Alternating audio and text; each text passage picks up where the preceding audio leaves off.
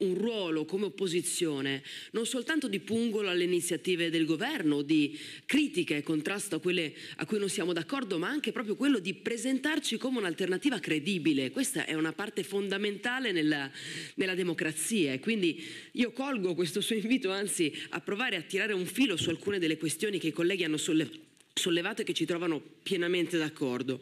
Eh, anzitutto sull'approccio pragmatico che prima ha indicato Carlo Calenda. Eh, io ho una formazione eh, nel Parlamento europeo dove, come sapete, bisogna costruire le maggioranze dossier per dossier eh, e bisogna farlo senza pregiudizi, stando sul merito delle cose, sulla concretezza dei contenuti.